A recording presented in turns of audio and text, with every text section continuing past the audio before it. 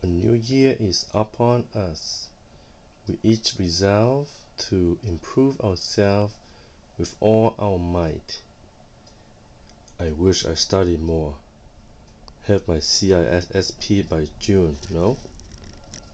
Yet exceed expectation. Do Paul on time. Do everything well. Improve presentation skill. Stop being a pita. No more being a slob.